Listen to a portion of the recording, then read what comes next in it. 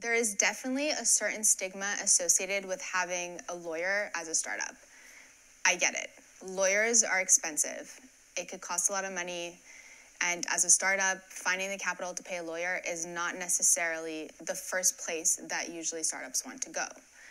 With that being said, and even if there is this type of stigma associated with it, lawyers are pivotal for businesses, especially in the startup phase. People have this assumption that paying a lawyer is just very expensive and it's not worth it. And what we oftentimes find with our clients is that they will come to our office, they've been in business for two years, three years, and they show us their books and they've done everything themselves. And then we have to go and fix everything. And this is really not a situation that you want to be in.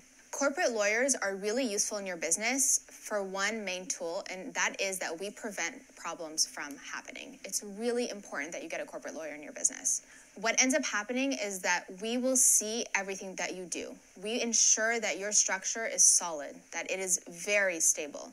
We ensure that your contracts are drafted properly, that it's very unlikely that you get sued because of the way the contracts are drafted. We make sure that you don't have any problems in your business.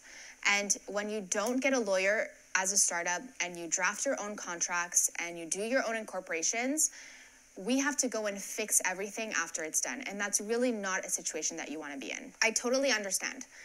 You can do incorporations yourself, you can draft contracts yourself. I get it, it's possible. But as a rule of thumb, and I tell this to all my clients, you absolutely should not do this. This is a very bad thing.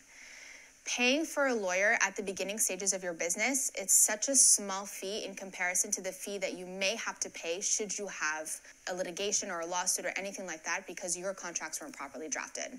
As opposed to paying maybe 5000 or 3000 at the beginning, you're looking at $50,000, $100,000 because you now have a problem because your contracts weren't drafted properly in the first place. Even if you don't have a lawsuit or litigation, if people come see us and they've done everything themselves, we have to go and fix everything. And the procedure to fix everything that has been done actually is a lot more costly and lengthy than having it done properly in the first place.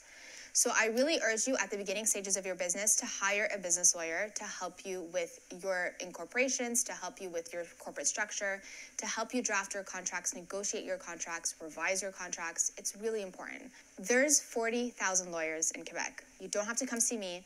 There's so many lawyers over the city. There are lawyers that offer fixed fee packages. There are lawyers that offer subscription services. There are lawyers that offer hourly rate services. You can find a lawyer that suits your needs and you can find a lawyer that suits your budget. But like I said, as a rule of thumb, if you're going to budget somewhere in your business, you don't budget on your lawyer. We are the ones that keep your structure the most safe, and we're the ones who make sure that your business stays stable and that you're not getting sued left and right because you didn't draft your contracts properly to begin with. So I really urge you to get a lawyer. It's really important, especially as a startup. We also have a lot of clients as startups that come see us because they really just want some advice. So they come see us for an advisory role. We help them. We help them ensure that they have proper professionals that are helping them with their businesses as well.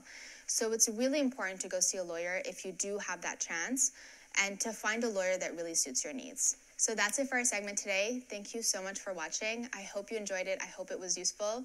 If ever you need any help, please feel free to contact us. All the information is in the box below. Please subscribe to this channel. We upload new videos every single Monday. I'll see you soon.